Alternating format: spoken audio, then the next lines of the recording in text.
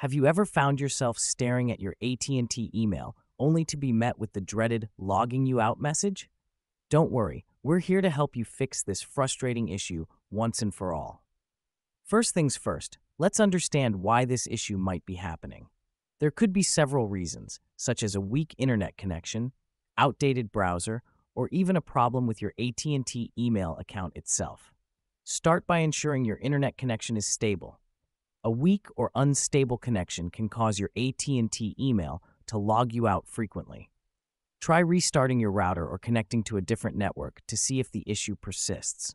Next, make sure you're using the latest version of your browser. Outdated browsers can cause compatibility issues with AT&T email, leading to frequent logouts. Check for updates and install them if available.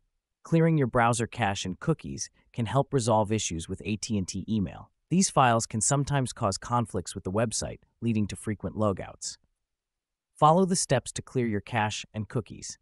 Some browser extensions can interfere with AT&T email, causing frequent logouts. Try disabling your extensions one by one to see if the issue persists. If it does, consider removing the problematic extension. Sometimes, issues with your AT&T email account settings can cause frequent logouts. Check your settings to ensure your email address and password are correct. Also, Make sure your security settings are not too strict, as they might be causing the issue. If the issue persists, try using a different browser or device to access your AT&T email. This can help you determine if the problem is specific to your current setup. By following these troubleshooting steps, you should be able to resolve the issue of your AT&T email logging you out frequently. If the problem persists, consider reaching out to AT&T customer support for further assistance. Thank you for watching. Don't forget to like, share, and subscribe for more helpful tips and tricks. Stay tuned for our next video.